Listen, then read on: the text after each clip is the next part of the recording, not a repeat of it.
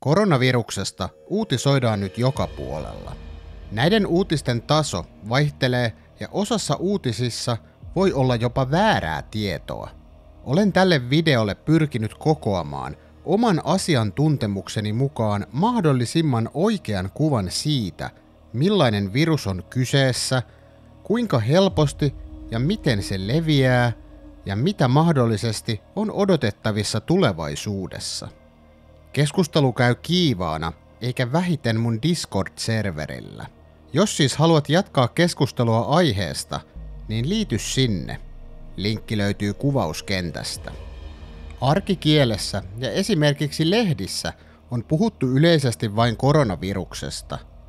Tämä voi kuitenkin olla jossain tapauksissa hieman harhaan johtavaa, sillä koronavirukset ovat virusryhmä, johon kuuluu kansainvälisen virustaksonomian komitean eli ICTVn mukaan 49 erilaista viruslajia.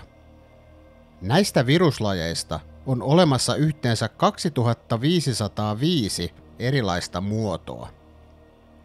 Jokainen meistä ihmisistä on luultavasti joskus saanut koronaviruksen, sillä tyypillisesti koronavirus aiheuttaa vain harmitonta nuhakuumetta. Koronavirukset ovat aiheuttaneet myös vakavia sairauksia, kuten SARS ja MERS-infektioita. Lisäksi on runsaasti erilaisia koronavirusten aiheuttamia infektioita, joita on esiintynyt erilaisissa tuotantoeläimissä. Koronaviruksen nimeämisessä on noudatettu erilaisia periaatteita, joka on voinut aiheuttaa sekaannusta. Viruksen nimeämiseen on vaikuttanut esimerkiksi, onko kyseessä ollut lääketieteellinen vai virustieteellinen lähestymistapa. Virusta on kutsuttu muun muassa nimillä Wuhanin koronavirus, uusi koronavirus tai vain koronavirus. Wuhanin koronavirus nimestä on luovuttu, koska sen on katsottu olevan syrjivä. Alun perin maailman terveysjärjestö kehotti käyttämään nimitystä 2019-NCOV, joka tulee sanoista 2019 Novel Coronavirus, eli 2019 uusi koronavirus. Helmikuun 11. päivänä maailman terveysjärjestö nimesi viruksen aiheuttaman taudin nimellä COVID-19, eli vuoden 2019 koronavirustauti. Samana päivänä jo edellä mainittu komitea ICTV antoi myös virukselle uuden nimen SARS-CoV-2, joka tulee sanoista Severe Acute Respiratory Syndrome Coronavirus 2. ICTV suosittelee käyttämään tätä nimeä nimen 2019 NCOV sijasta. Tätä nimitystä käytetään sen vuoksi, että nyt riehuva koronavirus on SARS-epidemian aiheuttaneen viruksen eräs muoto. SARS oli ihmishenkiä uhannut koronaviruksen aiheuttama tauti, joka riehui vuosina 2002-2003. Myös SARS lähti liikkeelle alun perin Kiinasta. Tavallisen suomalaisen ihmisen pää on varmasti sekaisin erilaisista nimityksistä, sillä Suomessa Terveyden ja hyvinvoinnin laitos THL ei käytä tätä ICTVn suosittelemaa nimeä, vaan käyttää edelleen nimeä uusi koronavirus. Lisäksi Suomessa THL mukaan lukien nimitystä koronavirus käytetään kun puhutaan taudista, sen oireista tai itse viruksesta. Nyt esille tullut koronavirus on seitsemäs tunnettu koronavirus, joka on tarttunut ihmiseen. Kuten muutkin koronavirukset, myös SARS-CoV-2 on muodoltaan pallomainen. Viruksen halkaisia on noin 50-200 nanometriä. Viruksen ympärillä on kapsidi eli proteiinikuori, joka suojaa sen sisällä olevaa viruksen perimää. Koronaviruksen perimä perustuu RNA-molekyyliin. RNA on lyhenne sanasta ribonukleinihappo. RNA on DNAn kaltainen molekyyli. Sen rakenne poikkeaa kuitenkin molekyylin sokeriosan osalta DNA-molekyylistä. Nyt maailmalla riehuvan koronaviruksen geeniperimä on ehditty jo kokonaan selvittämään. Sen RNA koostuu 30 000 emäsparista, joka on tyypillinen määrä myös muille koronaviruksille. Vertailun vuoksi ihmisen perimä, joka on koodattuna DNAhan, koostuu kolmesta miljardista emäsparista. RNA-molekyyleihin kertyy helpommin mutaatioita kuin DNAhan. Tämä tekee tästä viruksesta hyvin muuntautumiskykyisen. Tämän lisäksi koronaviruksilla tapahtuu niin sanottua rekombinaatiota enemmän kuin monilla muilla viruksilla.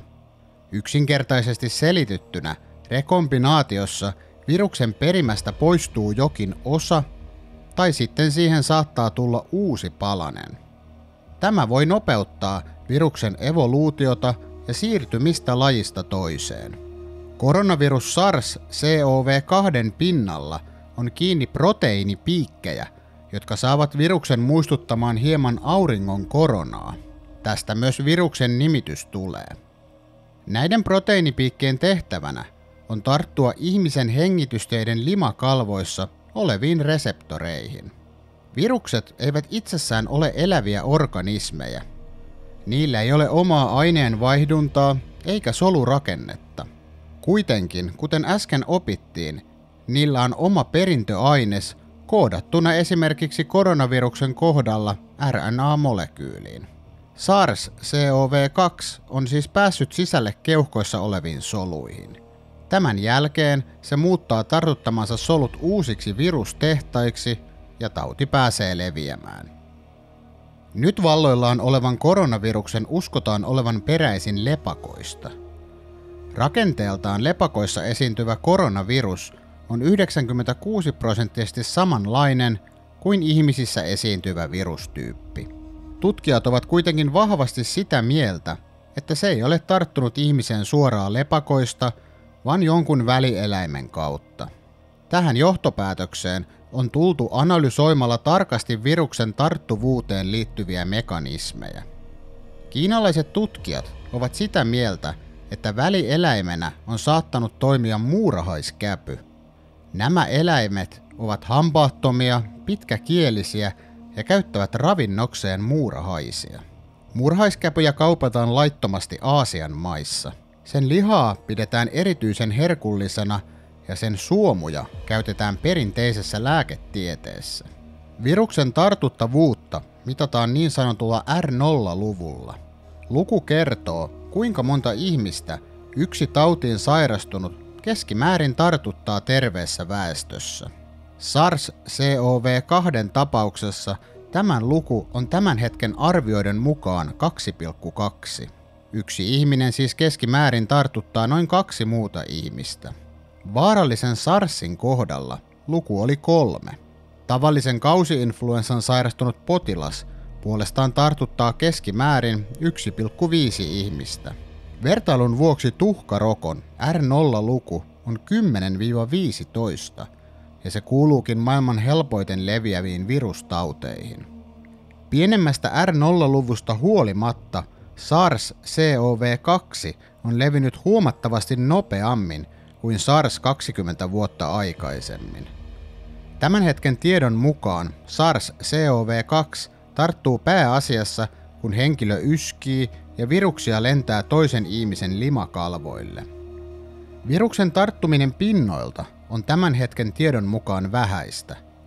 Vaikka laboratorio-olosuhteissa koronavirus löydettäisiin joiltakin pinnoilta, se ei tarkoita sitä, että virus leviäisi tehokkaasti sitä kautta. SARS-CoV-2 rakenne on huono pinnoilta leviämisen kannalta, varsinkin jos se kohtaa lämpötilan vaihteluita. Pinnoilta tarttuminen voi tulla kysymykseen esimerkiksi sairaalassa, missä sairastuneita on erityisen paljon. Mistä sitten johtuu tämän viruksen nopea leviäminen? Esimerkiksi siitä, että nyt riehuva virus ei aiheuta sairastuneessa niin kovia oireita, että esimerkiksi matkustaminen ei onnistuisi. Muutamien viikkojen aikana tartuntojen määrä on kasvanut lukuihin, joihin yltäminen SARSilta kesti useita kuukausia. SARS-epidemiaan kuoli 2000-luvun alkupuolella joka kymmenes tartuntaan saaneista.